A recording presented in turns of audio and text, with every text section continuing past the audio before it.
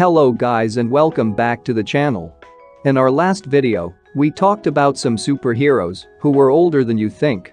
For example, Black Widow is almost 90 years old.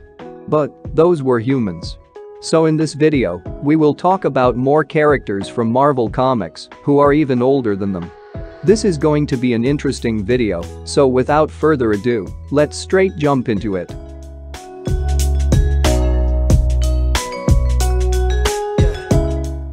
Thor. Clearly, Thor is a god, but he is not immortal. He just lives thousands of years more than normal humans. But, still it is interesting to find out how old God of Thunder is.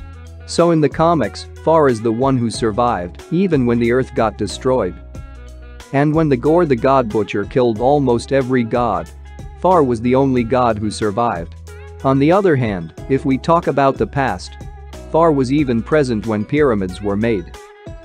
So according to comics, Thor is more than 4500 years old. But the Thor that we saw in MCU is more than 1500 years old.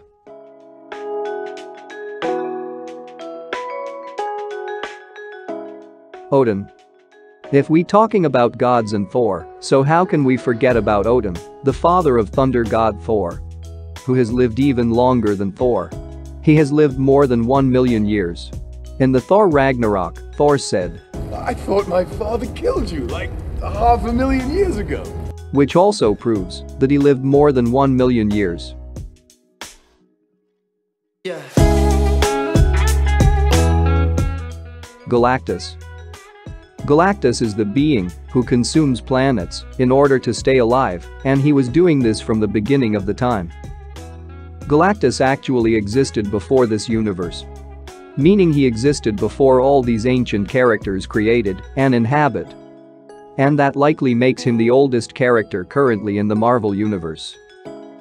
So this was it for this video. If you find this video interesting, hit the like button also, subscribe to the channel for more such videos.